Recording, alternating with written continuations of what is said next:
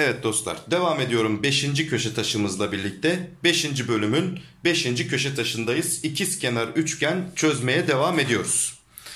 Evet 5. köşe taşımızın ilk sorusunu koyduk önümüze. Şöyle odaklanmasını ayarlıyorum. Tamamdır. Hadi bira bismillah diyelim başlayalım bakalım. Bir kalemi düşürmeseydim iyiydi.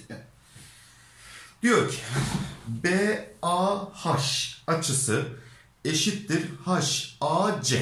Şurada bir açıortay var. Yani şu AH dediğim şey açıortaymış meğersem arkadaşlar bunu söylüyor. Ve bakın bu AH hem açıortaymış hem de yükseklikmiş canım kardeşim. Biz ne dedik kayı kuralında? Bir doğru hem yükseklik hem açıortay olduysa kenar ortayda olur. Yani bu tabanı ikiye böler. Burası 5 ya.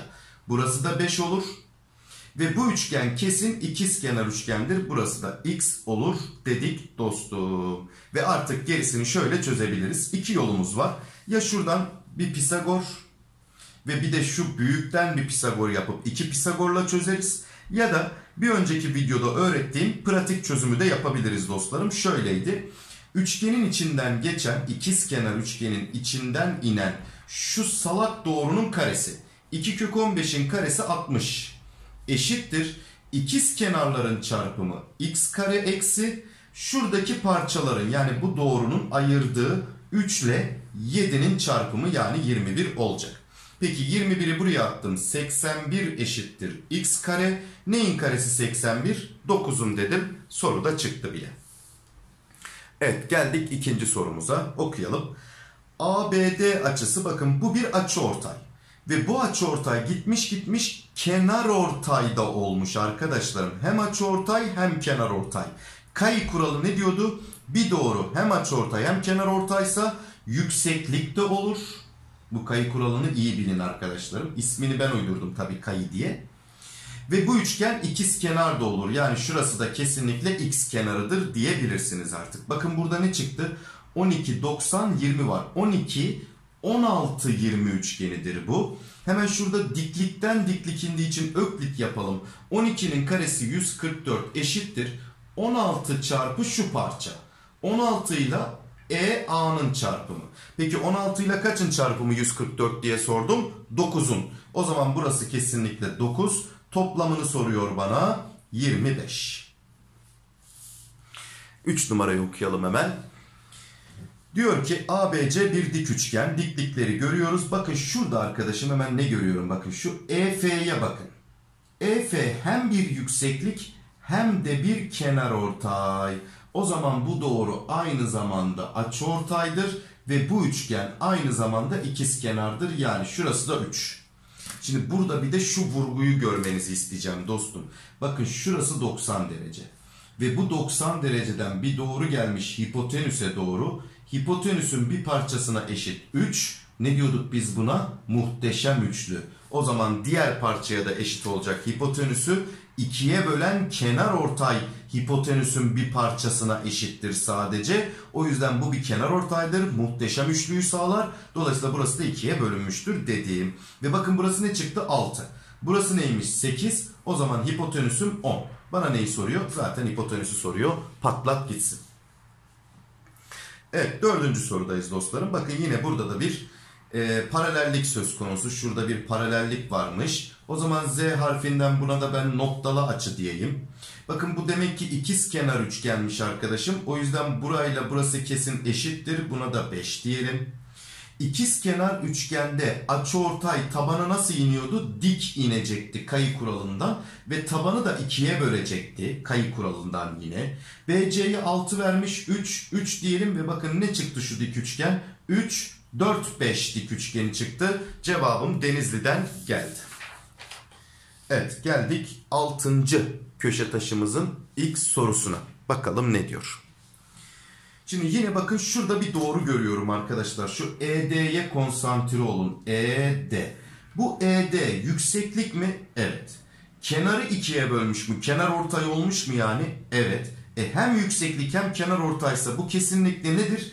İkiz kenar üçgenin bir parçasıdır. O yüzden şurayı birleştirdiğimde ben kesinlikle bu üçgen ikiz kenardır ve bu da açıortaydır. Yani şurası da x oldu. Ve bana nereyi vermiş? BC'yi 8 vermiş. O zaman öğretmenim şurası 8 eksi x olur. Ve bakın şu dik üçgen size soruyu çözdürüyor. İster Pisagor yapın, isterseniz de hani ne öğrettim ben size dik üçgende? Dedim ki iki kenar x'li verildiyse bu çok çok çok çok çok çok yüksek ihtimalle yani %99 özel bir dik üçgendir. 4 sana kopyayı versin. Dörtlü özel dik üçgenin hangisiydi? 3, 4, 5. O zaman buranın 5 olması lazım. Bakalım 5 olunca burası da 3 oluyor mu ama onu da kontrol et. Evet oluyor. O zaman x 5'tir hocam. Gönül rahatlığıyla diyebiliriz. Bak ikinci soru da artık aynısı kardeşim. DE'ye bir bakar mısın? DE yükseklik dolmuş kenarı da ikiye bölmüş. O zaman burayı çizdiğimde ben demek ki bu bir ikiz kenar üçgen yani burası 6 ve bu da aynı zamanda açı ortay. Şimdi 15 90 ise burası 75. Burası 75 yani toplam 150. Burası da 30. Peki 90'ın karşısı 6 ise 30'un karşısı yarısı olacak. Yani 3 gelecek. Evet 3 numaradayız. Hemen okuyoruz. Şimdi 5 var 2 var. Şimdi şunu öğreteyim arkadaşlar. Bu taktikte de şunu söylemiş olayım ben size. Bir soruda bir açı ortayla ee, burada gerçi bu değilmiş. Taktiğin sorusu değilmiş ama olsun yine de bir söylemiş olayım ben. Siz de bir duyun. Bir açı ortayla iki diklik varsa o soruda bir ikiz kenar üçgen vardır.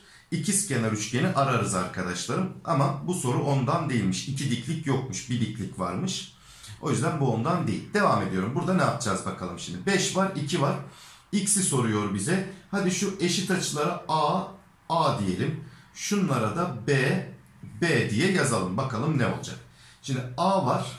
Şurası A artı B oldu. Bunu yazayım. A artı B.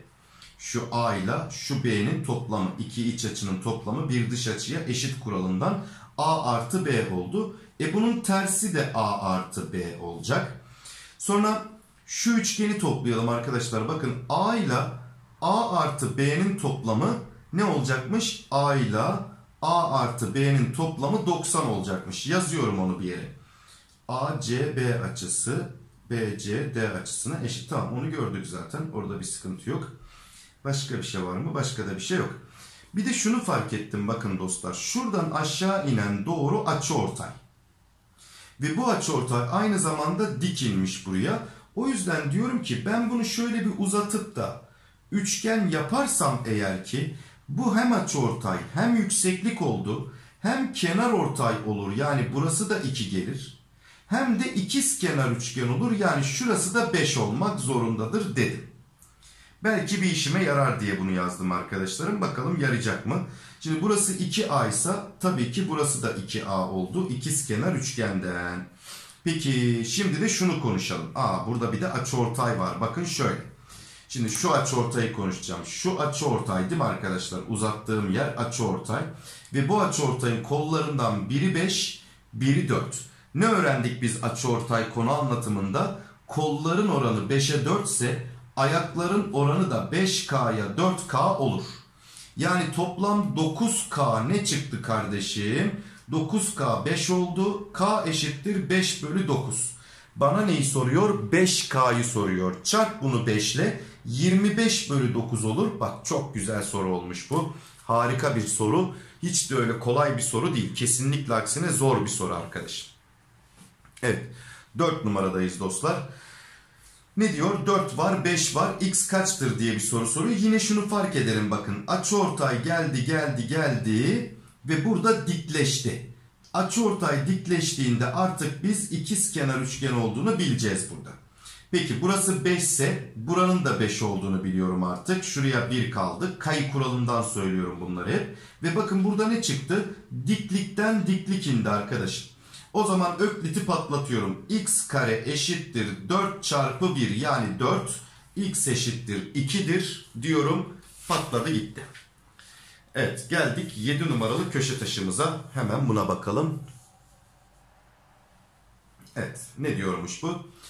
FBC FBC ile ACB yani şu açıyla şu açı birbirine eşitmiş dostum. Tamam öğretmenim. Şimdi bakın Bu soruda ilk soruda ben bir ispat yapacağım. Yani şunu ispatlayacağım aslında. Şurayla şurasının eşit olduğunu ispatlayacağım şimdi size dostlarım. Bunu bakın şekli aklınızda tutabilirseniz şu diğer sorularda da kendiniz uygulayabilirsiniz de ya da diyebilirsiniz ki artık hocam yani şurada mesela şu soruda hemen şununla şu birbirine eşit diyebilirsiniz. Diğer dört soruda da bunu yapabilirsiniz dostlar. Ben şimdi ilk soruda ispatlıyorum tamam mı nasıl böyle olduğunu.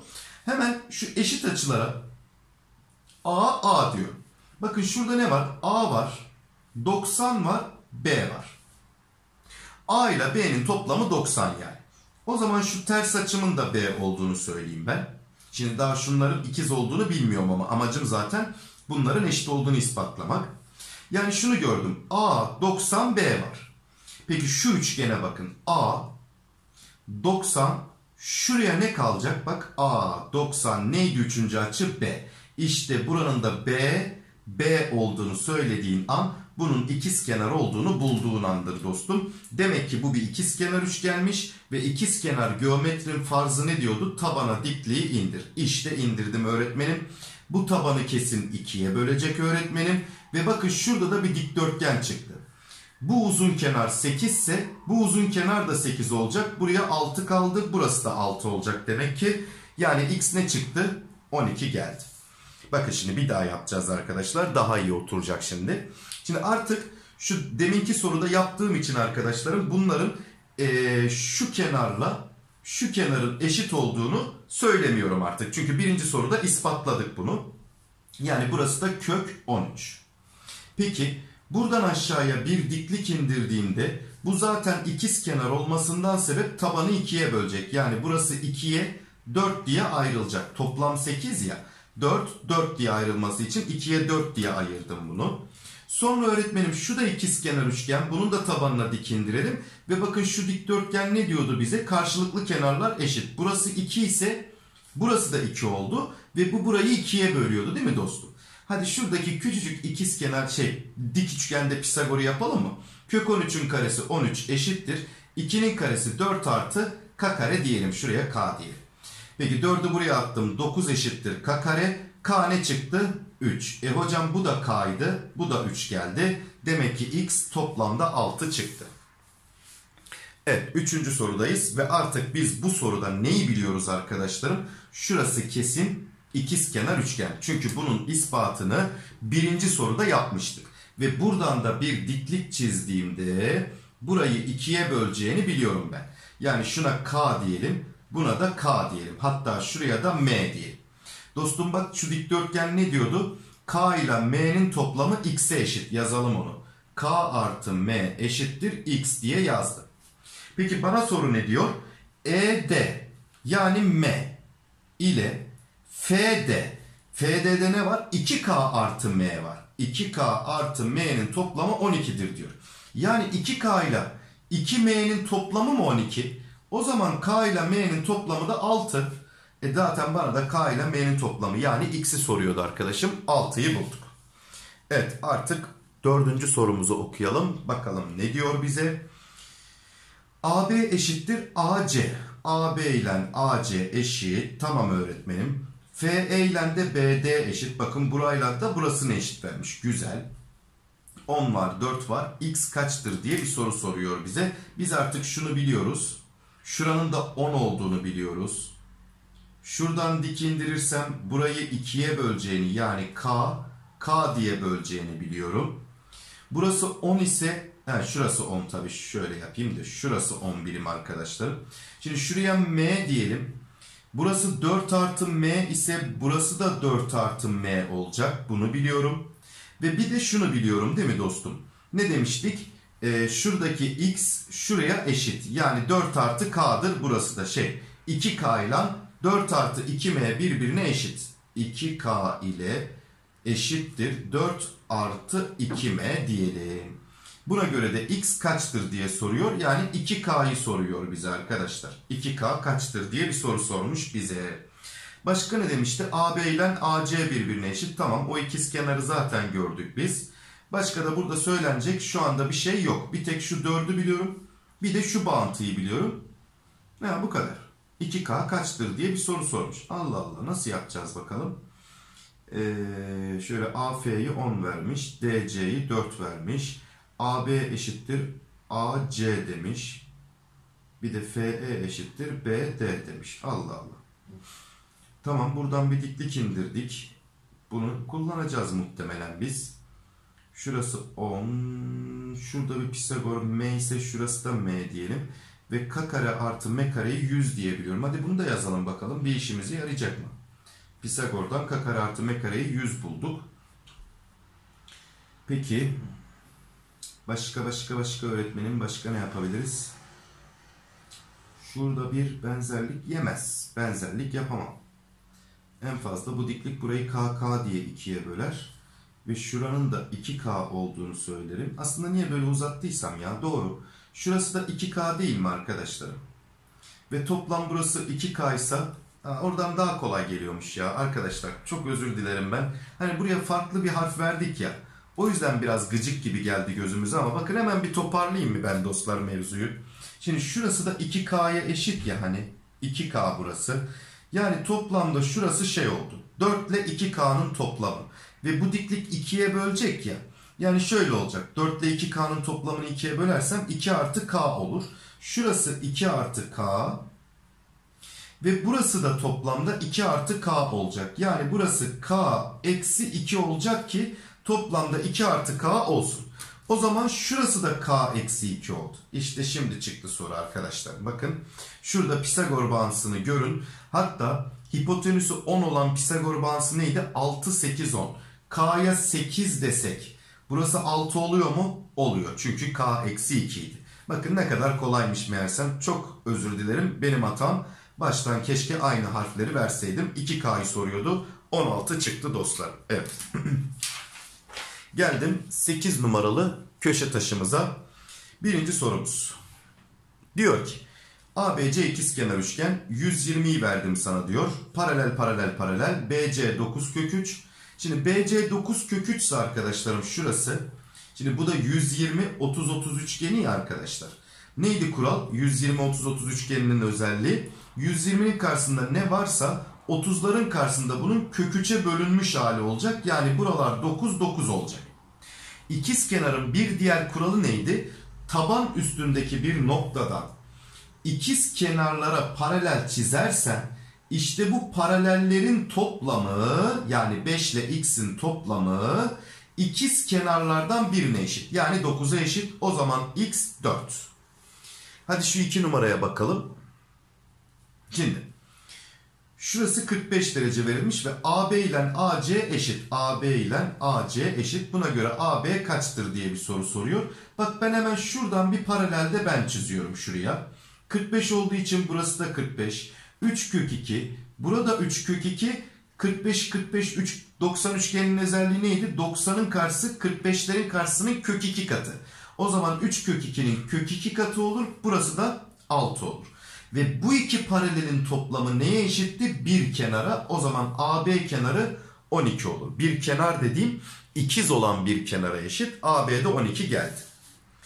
Şimdi yine geldik 120 30 30 üçgeniymiş arkadaşlarım. Bakın bu da ikiz kenar üçgenmiş. O zaman biz şuralara bir 30 30 yazalım. Şurası da 30. Şurası da 30. Peki DE paraleldir demiş şuraya. Paralelse şuradaki yöndeşlikten bu da 120. Bu da 30 olur. Demek ki burası da 6. Hatta burası 6 kök 3 oldu. 2 kök 3 AC'yi soruyor bize. Peki öğretmenim şurada 30'un karşısı 2 kök 3 ise 90'ın karşısı 4 kök 3 olmalı. Bunu da bulduk.